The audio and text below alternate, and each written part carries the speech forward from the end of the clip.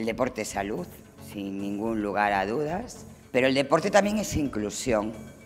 Es la capacidad de que todas las personas de cualquier edad, con cualquier situación, puedan tener el derecho a poder practicarlo porque hay una administración pública que entiende que es un derecho.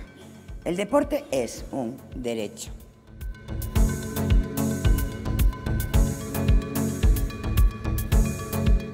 No hay duda que el deporte contribuye al bienestar independientemente de la edad, del género o de la etnia. Y todos disfrutan del deporte, por lo tanto, su alcance es absolutamente inigualable. El deporte promueve además valores como el trabajo en equipo, como el juego limpio, como el respeto de las normas, el respeto a los demás, la cooperación, la disciplina, la tolerancia, algo muy importante.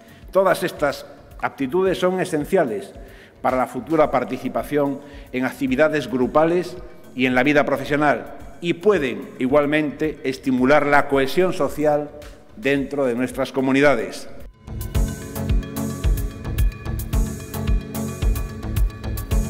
El deporte es una cultura de vida, es una forma de entender la vida ya.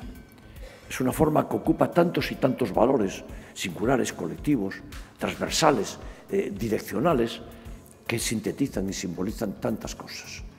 Y con el deporte podemos hablar y tenemos que hablar de la igualdad y tenemos que hablar de la inclusión y tenemos que hablar de los equilibrios territoriales y tenemos que hablar en las propias ciudades y en los propios municipios, en el propio deporte y en las instalaciones, la vertebración de un territorio.